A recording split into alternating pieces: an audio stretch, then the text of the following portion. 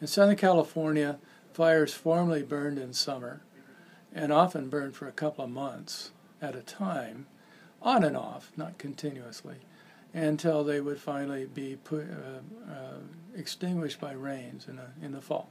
Now we're restricting fires through fire suppression initial attack policies to the most extreme weather states, and they are likely to be Santa Ana winds that occur during the fall months.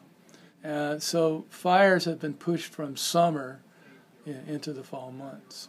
What's in store for Southern California's fire season?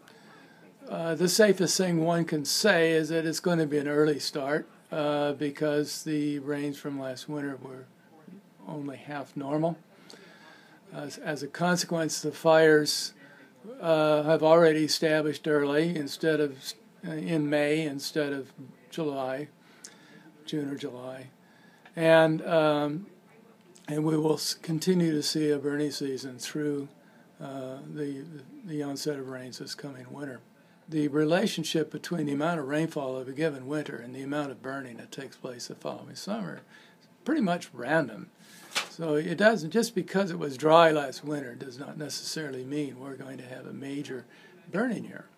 But I can predict that those areas which are most likely to burn uh, are those which are old stands. And this is shown in this map, in which those areas that have burned recently in the purples and the blues, uh, they burned in the last 10, 20 years. They're unlikely to carry major fires in the immediate future. But those areas in the warmer colors, such as Lake Arrowhead, eastern San Bernardino Mountains, and the San Jacinto Mountains, which either have yellows and reds and or no color.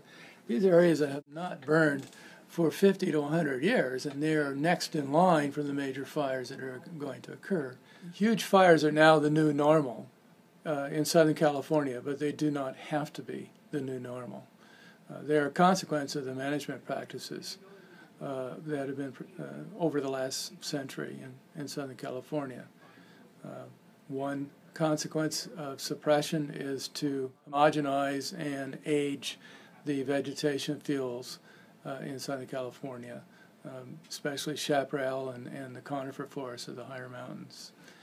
And secondly, uh, the very efficient effort of putting out small fires uh, selects for major burns to take place in the most extreme weather conditions. The long term solution to burning in Southern California is to accept uh, that fire is inevitably going to occur in these landscapes. So the saying is uh, it's now or later. And later is a bad option, but we've been practicing later for 100 years.